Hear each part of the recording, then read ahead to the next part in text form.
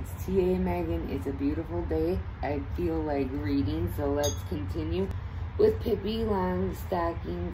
In, I'm sorry, Pippi in the South Seas. We're on chapter six. Chapter six, and it calls Pippi goes aboard. And there she is. She looks like she's on board a ship, doesn't she? Let's read. On a beautiful morning, the Hop-Toad sailed into the harbor decorated with flags and pennants from end to end. The town band was there on the pier, playing welcome songs with all of their might. The whole town had gathered to see Pippi receive her father, King Ephraim First Longstocking. A photographer was also standing by, ready to snap pictures of their meeting. Pippi was jumping up and down with impatience, and the gangplank was hardly down before Captain Longstocking and Pippi rushed towards each other with shouts of joy. Captain Longstocking was so happy to see his daughter that he threw her way up into the air several times. And Pippi was so happy to see her dad that she threw him way up in the air still several more times. Here's a picture of Pippi throwing her dad up into the air. The photographer's there too, and so is Mr. Nielsen. The only person who was not happy was the photographer because he couldn't get a picture with either Pippi or her father so up in the air all the time. Tommy and Annika also came forward and greeted Captain Longstocking. But oh, how pale and miserable they looked. It was their first time after their illness that they had been out. Pippi, of course, had to go on board and say hello to Fridolf and all her other friends amongst the seamen. Tommy and Annika trotted along too. They felt so strange walking around the ship that had come from so far away, and they kept their eyes wide open so as not to miss anything. They were especially eager to see Agaton and Theodore, but Pippi said that the twins had signed off the ship a long time ago. Pippi hugged all the sailors so hard that five minutes later they were still gasping for breath. then she lifted Captain Longstocking up onto her strong shoulders and carried him through the crowd and all the way home to the Villa Villa Kula. Oh, she's so strong. Hand in hand, Tommy and Annika trudged along behind them. Live long, King Ephraim, shouted all the people of the town, they felt that this was a big day in the history of their town. A few hours later, Captain Longstocking was in bed at Villa Villekulla, sleeping and snoring away so loud that the whole house shook. Pippi and Tommy and Annika were sitting around the kitchen table where the remains of a splendid supper were still in evidence. Tommy and Annika were quiet and thoughtful. What were they thinking about? Annika was just thinking, when you come right out and down to the facts, she would much rather be dead than without Pippi around. And Tommy was sitting there trying to remember if anything in this world was really fun without Pippi. But he couldn't think of anything. Life was an empty waste, he had felt. Oh, they're so sad. But Pippi was in a wonderfully happy mood.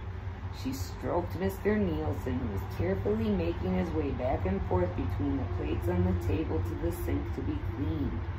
She stroked Tommy and Annika, and she whistled.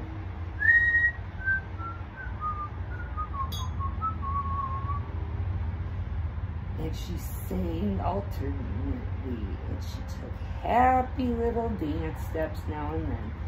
She didn't seem to notice that Tommy and Annika were downcast and sad. Going to sea for a bit again is gonna be marvelous, she said. Just think of being on the ocean where there's so much freedom. Tommy and Annika sighed. I'm quite excited about seeing Kerkerdut Island to imagine what it will be like to be stretched out on the beach, dipping my big toe in the South Pacific. And I'll have all I have to do is open my mouth and a banana will fall right in it. Tommy and Annika sighed. Oh, it's going to be a lot of fun to play with children down there, Pippi continued. Tommy and Annika sighed. Oh. What are you sighing for? asked Pippi. Don't you like the idea of me playing with the cute children down there? Of course we're happy for you, but we're just thinking that will probably be a very long time before you come back to Villa Villa Kula. Oh, oh, yeah, I'm sure of that, said Pippi happily, but I'm not at all sorry. I think I can have almost more fun on that island.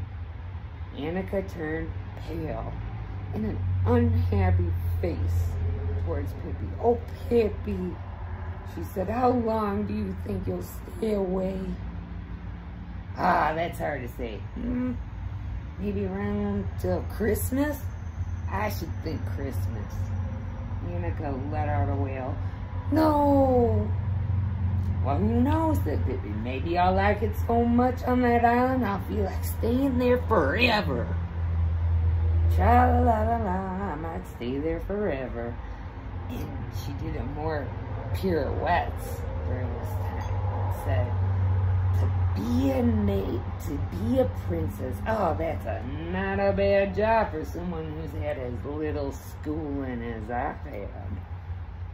Tommy and Annika's eyes, looking out of their pale faces, began to have a peculiar, glossy stare. Suddenly, Annika bent down over the table and she burst into tears. But come think of it, I don't think that I'd like to stay there forever, said Pippi. Uh, you know, one can have too much of court life and get sick of the whole business, if you know what I mean. So one fine day, you'll probably hear me say, Tommy, Annika, how would you like to go back to the Villa Villa Kula for a while again? Oh, how wonderful that would be when you write that to us, said Tommy. Right, said Pippi. You got yours, I hope. I have no intention of writing. I'll just say it. Tommy and Annika, now it's time to go back to the Villa Villa Kula.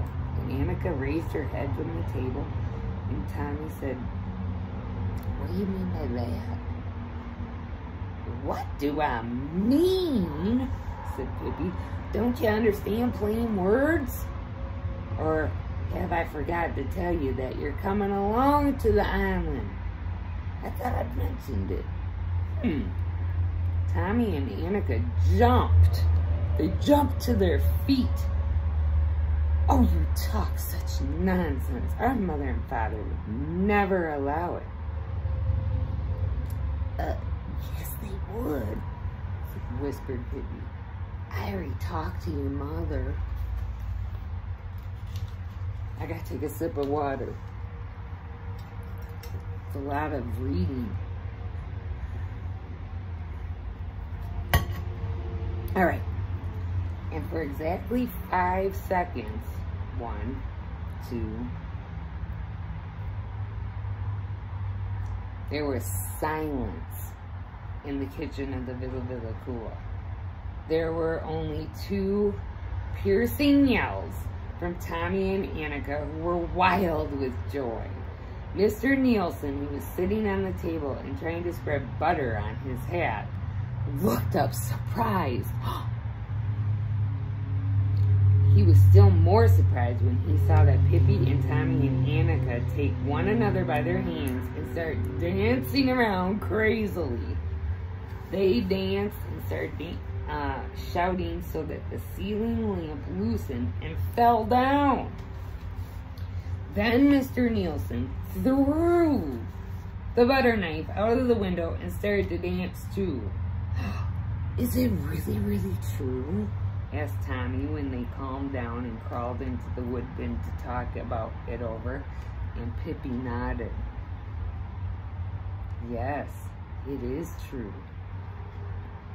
Tommy and Annika were to go along to Kirkerdute Island. To be sure, all the ladies in the little town came to Mrs. Settergren and said, you don't mean that you're thinking of sending your children out to the South Seas with Pippi Longstockings. You can't be serious.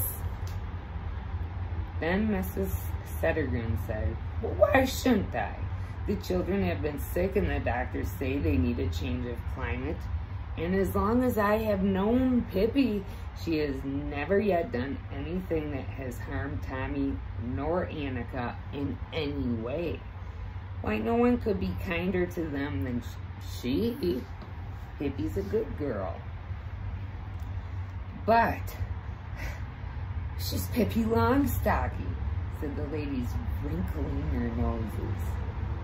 Exactly, said Mrs. Settergren. Pippi Longstockings.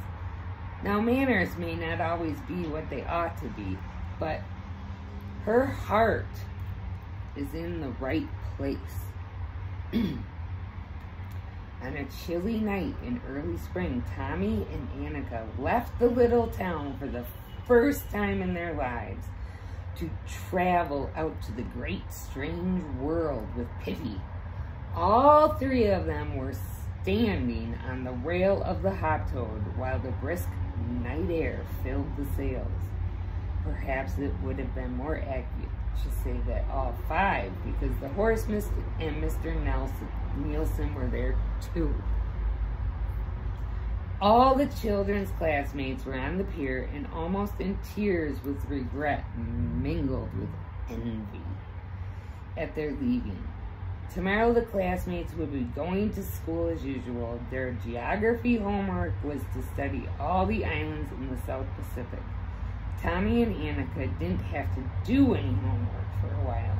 Their health comes before school, the doctor had said, and they'll get to know the South Sea Islands firsthand, said Pippi.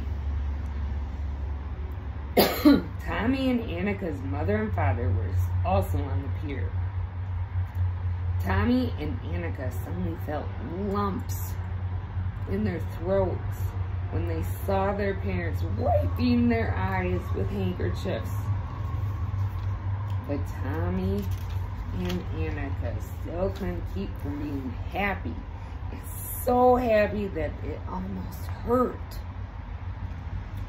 Slowly, the hop toad sailed out of the harbor. Tommy and Annika, cried Mrs. Settergren. When you get out on the North Sea, you have to put on two undershirts and... The rest of what she was trying to say was drowned in the cries of farewell from people who were on the pier. The wind whining at the wild whinnying of horses and Pippi's happy noises and Captain Longstocking's loud trumpeting when he blew his nose. The voyage had indeed begun. The Hoptoad was sailing out under the stars.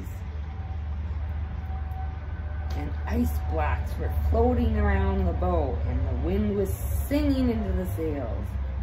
Oh, Pippi, said Annika.